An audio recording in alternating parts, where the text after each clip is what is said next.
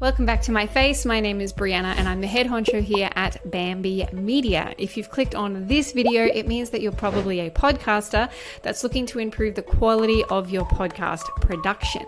In this series of videos, you're going to learn how to record and edit your podcast using Descript, and there will be a link to Descript in the description below. Yes, we're also an affiliate of theirs because they are pretty flippin' awesome. If you'd prefer to consume this content in order, then you need to head to Bamby bambymedia.com slash DIY podcaster. You'll just need to create an account to actually get into the back end of that, but it is completely free at no cost to you, which rarely happens these days. So I'm pretty excited about doing that. If you'd like to work with us here at Bamby Media, you can also just head to bambymedia.com and there is a bunch of ways to work with us. All right, let's dive in. Okay, you're now at the point where we're going to start adding some music into this intro. So, there's a couple of ways to find music for your show. The first uh, way is you could actually just, because you're in Descript, you can go up here and you can go to music or audio and go music and actually just, there's a heap of songs in there. They're royalty free for you to use.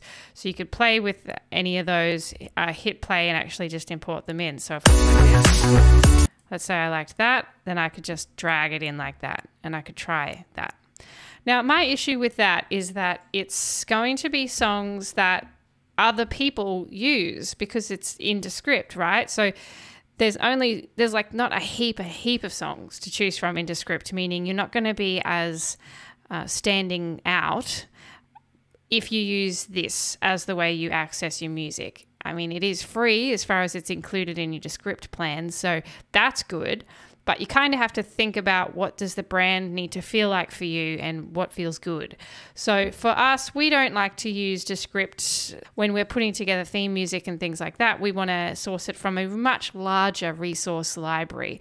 So the one that we use is artlist.io and I'll go and get a new window up so that you can see what I mean there. So artlist.io.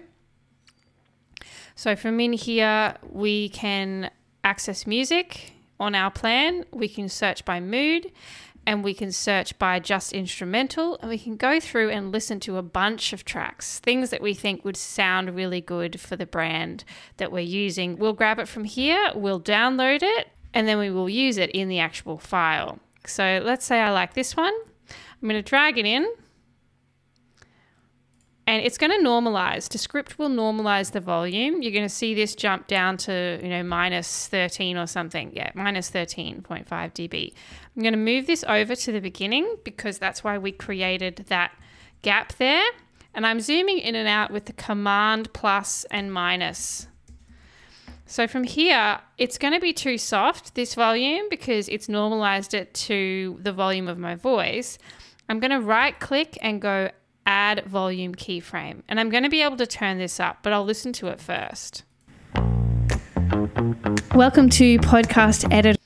Okay, so I think that's a bit too soft. I want to give it a bit more juice. Welcome to Podcast Editor Pro. I'm so excited to have you here with to Podcast Editor Pro. I'm so excited Okay, and then here where the cowbell I think comes in, I think that it's too loud there. So I'm going to start to just turn it down at that point. The Pro, I'm so excited to have you here with me in your ears listening to Okay, and then when that comes in, it's way too loud. So I'm going to right click. I'm going to add two volume keyframes here so that I can leave it at the level here and then have it drop down from there. Welcome to Podcast Editor Pro. I'm so excited to have you here with me in your ears listening to this podcast. My name is Brianna, and I am a podcast producer and editor that has been working in the field for over eight years. I have a lot of learnings to share, and in this podcast, Okay, and I think it's still a little bit too loud here, so I'm just going to turn it down a little bit more. Two volume keyframes, adjusting the volume eight years. I have a lot of learnings to share, and in this podcast, I hope to help you dive into all the ways that you can up level your podcast editing. Thanks for joining me. Great. Okay. And so then after that, I'm going to make this long because I want to give myself a lot of music at the outro.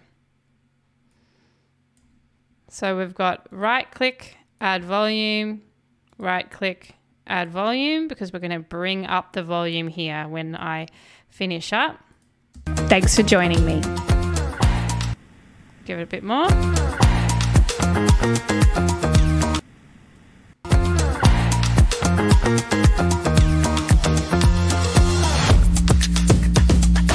Cool. And so then I'm going to right click volume it more and I'm going to start to fade it out over a long period of time. That's probably as good a place as any to stop it because it looks like there's a break there. So then we're going to move this in so it finishes up where we want it to finish up and we're going to listen.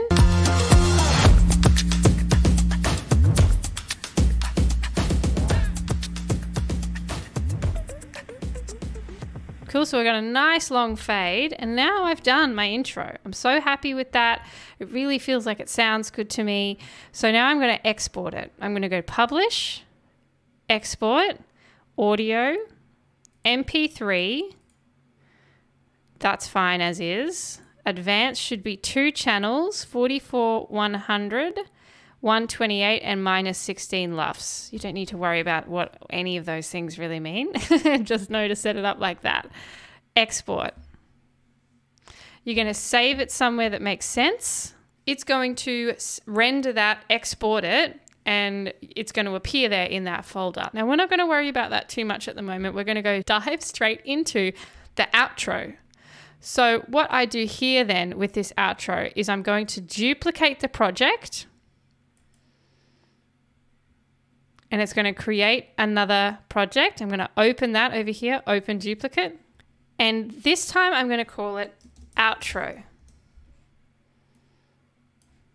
Now, we don't need any voiceover. I don't like voiceover in my outros. I like the music to just fade out, like fade up and then fade out.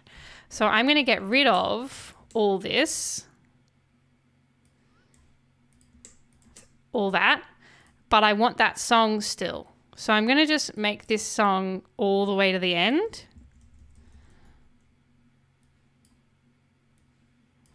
There's the end of it.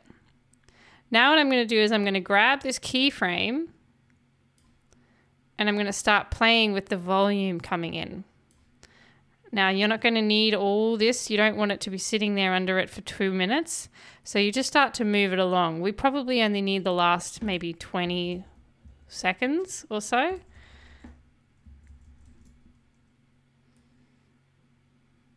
So what's that? 30 seconds? Cool.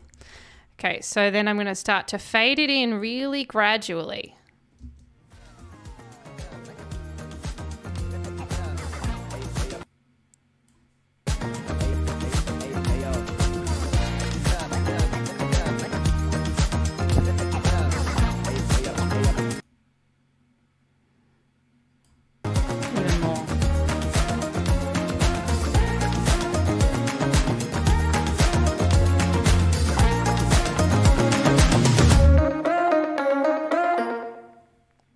That's it. And you only want it to go loud, really loud, right at the end. And that will make sense later as to why you want to do that. So now that's done as well. We're going to go publish, export, same thing. We're going to save it in the same place so that we know we have it. Cool. Okay, so now we have our intro and our outro, which is fantastic. Now the fun part gets to happen where we can go and create a template out of this intro and outro so that you don't have to do this every time you want to create a new episode. And we'll do that in our next lesson.